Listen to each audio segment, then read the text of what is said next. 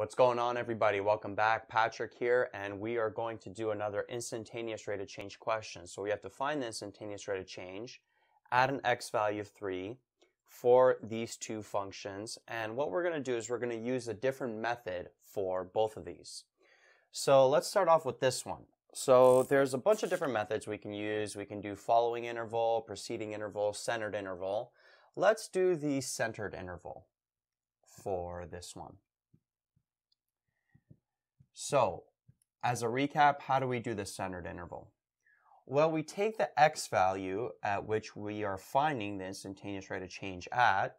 We pick a value that's close to it to the left of it. So something like, let's say 2.99.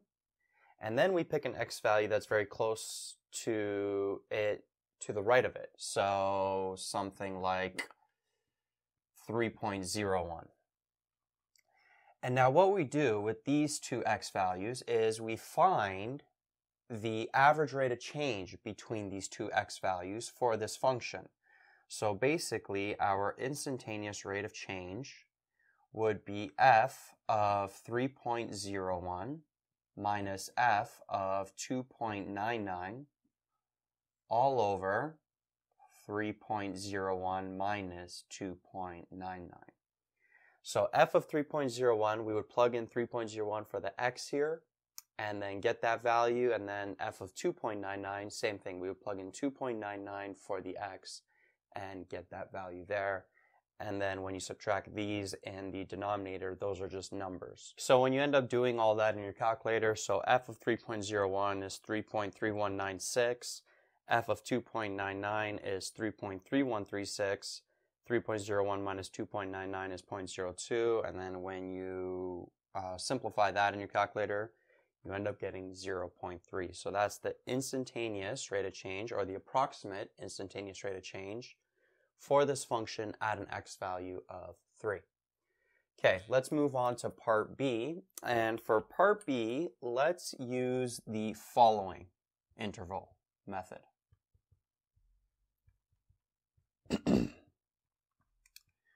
So the following interval, what does it do? It takes the x value that you are finding the instantaneous rate of change at. So in this case, x is equal to 3. And then it picks an x value that's very close to the right of it. So let's use 3.01 again. And now what you do is you find the average rate of change between these two. So the approximate instantaneous rate of change would be f of 3.01 minus f of 3 all over 3.01 minus 3. And that would be for this function. Notice how for none of these we haven't used the difference quotient because we haven't really gone over how to use the difference quotient with functions that have a radical or exponential functions. So whenever you receive functions like this, usually to find this instantaneous rate of change of something like this, you'll have to use either the centered interval, following interval, or preceding interval methods. And then when you further simplify this, so f of 3.01, plugging in 3.01 for x here, you get 61.8934.